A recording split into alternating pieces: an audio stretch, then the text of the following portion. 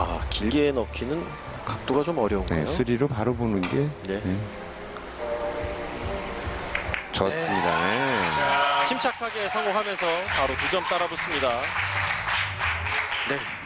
김민아 선수도 일단 이거 처리하고 나서 한숨을 토해내네요. 네, 지난 시즌 30.6%의 뱅크샷 성공률이었고 오, 상- 생각보다 네. 굉장히 높네요. 그렇습니다.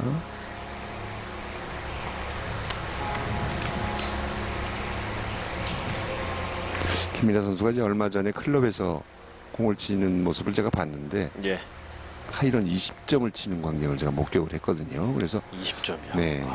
이 남자 선수들도 20점을 치기는 좀 어쩌다 나오는 오, 자, 와, 연속. 뱅크샷. 네.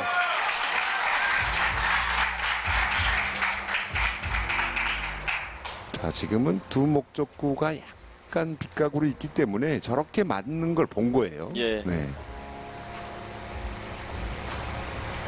위원님께서 하이런 얘기하자마자 터지는데요.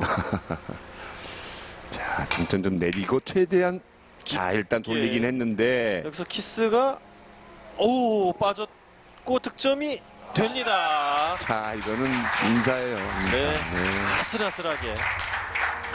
두께 자체가 지금 조금 너무 두껍게 맞으면서 키스도 아슬아슬하게 빠졌습니다.